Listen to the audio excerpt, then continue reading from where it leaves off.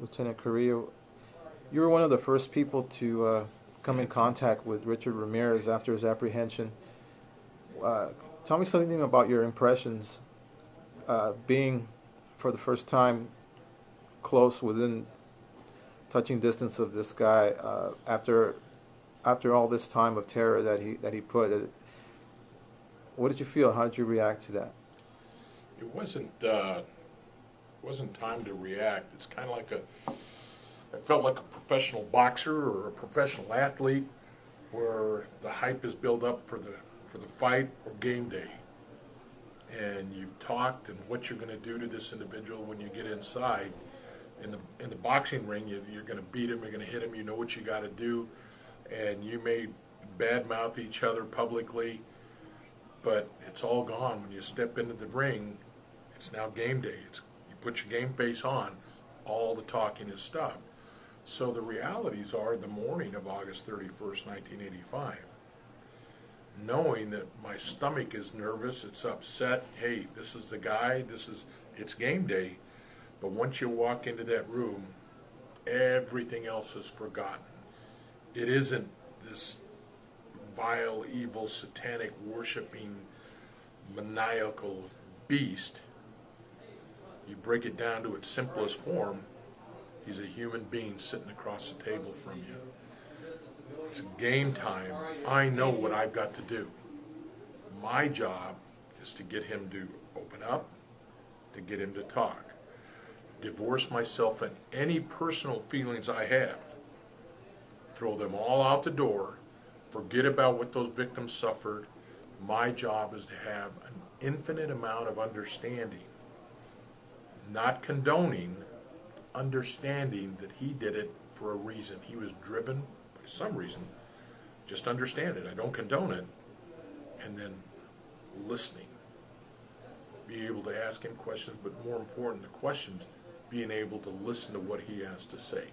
So that's that's the way it started off.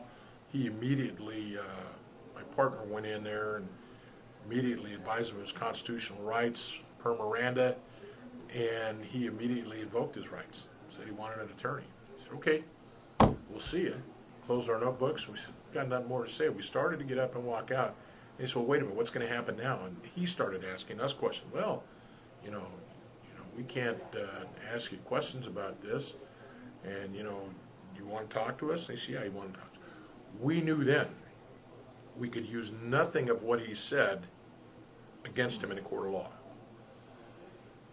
in the case in chief. But if it ever got down to it and Richard took the stand, whatever he told us in that room could be used against him in rebuttal. Right. You couldn't use it as an investigative tool, but we use it against him in rebuttal. So we started talking to him, and we talked to him, and Richard talked in the third person that time. Uh-huh. He would sit there and say, well, the Night Stalker would have done this, or the Night Stalker may have done this, the Stalker, the Stalker, he did this. And I established a rapport with him rather than my partner because of the cultural yes similarities. The, the connections, yeah. And so when I started talking to him, I started talking to him like he was a human. And I started talking like if he was from the streets. And I understood he was from the streets. You're from a barrio, I'm from a barrio. Right. So we established this rapport and we started going. And I said, why do you think the stalker let Maria Hernandez live. And it came out that because she looks strikingly like Richard's real sister. Ruth? Yeah, and I started talking to him about Ruth and about his dad. And I felt, I asked him, I said, did your dad molest your sister? And he was getting very upset. He was getting agitated. All the time, my questions, being probative, some light, some not, what I was doing was playing with him. I wanted to raise his anxiety level, see how high I could get it, bring it back down, so I knew where I could his comfort zone was. And at one point in time, where game face kind of fell off, it's like being in the ring, and all of a sudden, you know, you're winning, and then you get sucker punched. You get, you never saw it coming. You get knocked down, knock the wind out of you. Well, at one point in time, when I started talking about his family and his sister and his dad, Richard literally was like this on the table, and he started hyperventilating, and his arms started coming up. He was really getting angry.